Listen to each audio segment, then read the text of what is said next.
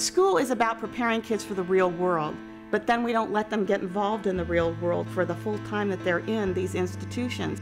Education has become something that's a part of the government. It's something that we do as a nation rather than something we did as, as a community. There's an assumption that schooling is providing an education, and that's not necessarily so. In a world where I can pull out my smartphone and Google anything I want, I don't need to have a teacher telling me facts. What I need is a guide helping me to apply that knowledge.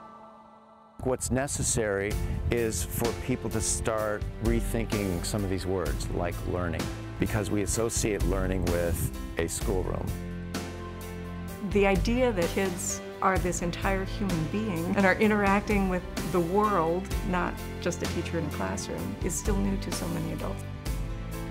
The general public's conceptualization of uh, homeschooling is you break out a book and start lecturing to them and teaching them everything.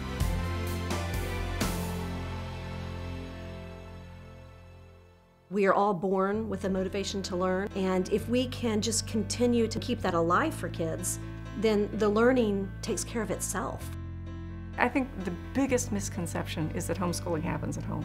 The schools have done a really good job of making families feel inadequate and that you're really not qualified to direct your child's education.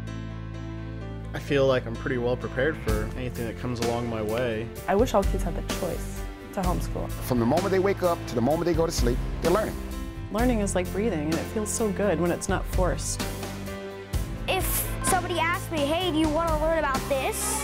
Then I'll usually say yes. We're all really obsessed with product. What did you do? How did you perform? What's your grade? Show me the work that you did.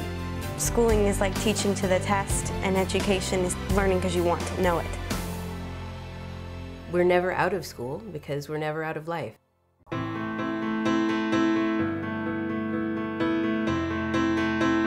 I'm more confident that I could go out there and do what I feel passionate to do with my life.